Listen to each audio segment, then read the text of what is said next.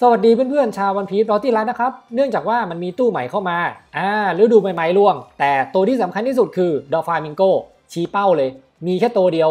ส่วน Baby 5เนี่ยสามารถสุ่มแล้วเอาไปอ่าเล่นอีเวนต์ฆ่าบอสได้เนาะแต่ถ้าไม่มีจะเล่นเป็นร็อบลุจจิก็ได้ แล้วแต่สะดวกเอาว่าตัว main หลัก คือดอฟามิงโกร่างหนุ่มนั่นเอง สามารถเล่นเป็นตัวหลักได้เลย เอาล่ะเดี๋ยวเรามาคุยเรื่องของดอฟามิงโกล้วนๆเลยนะครับคลิปนี้เนื่องจากว่ามันเป็นตัวเมนหลักของตู้นี้ เนาะทีนี้ต้องมีคำถามว่ามันคุ้มไหม ถ้าคุณจะสุ่มดอฟามิงโกเนี่ยมีประโยชน์อยู่ 2 อย่างก็คือ 1 เล่นเป็นตัวหลักได้ 2ทำซับได้ เอาซับให้ดูก่อนนะครับ ก็จะได้เป็น 1 2 3 4 4ซับตัวเดียวได้ 4 ซับ ถือว่าคุ้มนะ และเล่นเมนหลักได้ด้วย โอเคเนาะในส่วนของเหรียญเนี่ยดอฟามิงโกมันจะสร้างความเสียหายเพิ่มขึ้น 5%ถ้าพลังชีวิตต่ำกว่า 50%อันนี้ผมมองว่าไม่ต้องใส่ก็ได้ครับ เพราะเพราะว่าจริงๆ อย่าให้เลือดต่ำกว่านั้นดีกว่า เพราะถ้าเลือดต่ำกว่านั้นอะก็คือว่าใยแตก หมายความว่าถ้าเล่นจริง ๆ อย่าให้สกิล2อะใยมันไม่แตก แค่นั้นอะคือสำคัญที่สุดละ โอเค แต่ทีเนี้ยปัญหาของดอฟาเนี่ยมันมีติดกันในเรื่องเหรียญ คือถ้า ID ใหม่ๆ ที่เพิ่งสุ่มอะมันไม่มีเหรียญที่มันจำเป็นจริง ๆ เดี๋ยวผมเอาเหรียญที่ผมคิดว่านะเซตเนี้ยคือดีที่สุด แต่ ID ที่ผมเล่นนะมันไม่มีแต่ ID เก่านะมี ID นั้นเล่นมาปีกว่าแล้วขายไปแล้วเนาะขายเสร็จก็เอาโอเคช่างมันอันนั้นช่างมัน แต่เซตเนี้ยคือเซตที่ดีที่สุดที่ผมคิดว่ามันดีละ แต่ประเด็นคือตอนเนี้ยมันไม่มีเซตนั้นแล้ว จะทำยังไงดีล่ะ แต่ถ้าใครไม่ซีเรียสจะใส่3โบอาก็ได้ หรือว่าจะใส่เซตลูฟี่ที่ผมบอกก่อนคลิปเนี้ยก่อนหน้านี้ไปแล้วก็ได้ เพราะว่าคุณสมบัติของด e f ฟมิงโกเนี่ยอะเดี๋ยวเอาให้ดูก่อนจะได้เข้าใจตรงกันนะ ก็คือว่า จะโจมตีแรงขึ้นเมื่ออยู่ในเขตสมบัติของศัตรูเอาง่ายๆว่าตัวนี้สิ่งที่เราจะต้องทำอะไปกลางใยอยู่เขตของศัตรูแล้วยิงเรื่อยๆ เนี่ยคือสิ่งที่เราจะต้องทำงั้นหมายความว่าเป็นตัวที่บู๊คือคุณต้องยืนอยู่ที่ธงของอีกฝ่ายอะโอเคไหมนั่นแหละคือสิ่งที่ต้องทำแต่ทีเนี้ยก็อย่างที่บอกครับมันมีปัญหาเรื่องเหรียญเอาล่ะทีนี้เดี๋ยวเรามาคุยเรื่องเหรียญก่อนว่า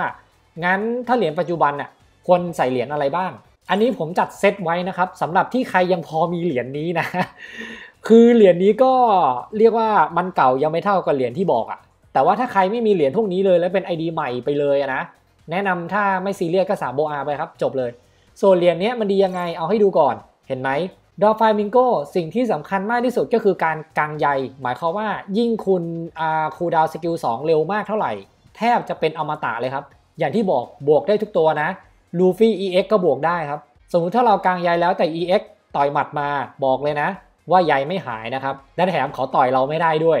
กว่าเขาจะต่อยเราได้เรา skill หนึ่งทีก็ skill 2ต่อแล้วอะ่ะคือแม่งเร็วมากอะต่อมาฟื้นฟู HP หลังจากที่เกิด critical และเมื่อกี้คุณสมบัติของดอฟาก็คือคี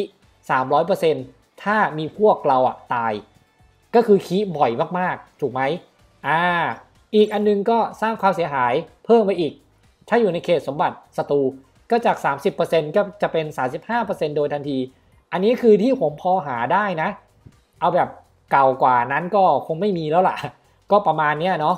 ที่เหลือก็ลองตัดสินใจกันดูนะครับ ว่าใครจะสุ่มหรือไม่สุ่ม ทุกสิ่งทุกอย่างผมก็น่าจะบอกครบหมดแล้วเนาะทีนี้เดี๋ยวก่อนที่จะจบคลิปเนี่ย ผมบอกก่อนว่า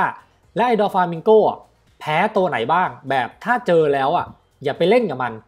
ทีเนี้ยผมบอกก่อนว่ามีแค่ 2 ตัวเท่านั้น 1. ไคโด 2. แซนคูดมีแค่ 2 ตัวนี้เท่านั้นนะ ในเกมที่ดอฟาไม่น่าไหว แต่ว่าที่เหลือเล่นได้นะครับ อย่างเซโต้ก็เล่นได้ครับ เหตุผลคือว่าเซโต้เลือดมันจะเด้งก็ต่อเมื่อมันสามารถทุบและเรากระเด็นใช่ไหมแต่เนื่องจากว่าหลังจากที่ดอฟากลางใหญ่แล้วอะ่ะมันทุบเราไม่ได้ โอเคป่ะก็คือเรียกว่าผมเล่นเซโต้มานะอย่างที่เห็นว่า ID ผมมี ทีเนี้ยผมบอกเลยว่า ดอฟามิงโกเป็นตัวเดียวที่ไม่อยากเจอ โอเคป่ะ อย่างลูฟี่ก็ทุบนอนได้ใช่ไหมพอทุบก็เด้ง skill หนึ่งอย่างแชงคูสก็ทุบ skill หนึ่งต่อได้ แต่ไอดอฟาเราทุบมันไม่ได้ โอเคป่ะ เออ พอทุบไม่ได้แล้วนำซ้ำโดนยิงทิ้งอีก นั่นแหละครับ ดังนั้นก็อย่างที่บอกนะ แต่ส่วนถ้าเจอไคโดกับแซงอย่าเล่น นี่คือคำเตือนนะ หวังว่าจะโอเคนะครับสำหรับคลิปนี้ก็บอกทุกสิ่งทุกอย่างครบแล้ว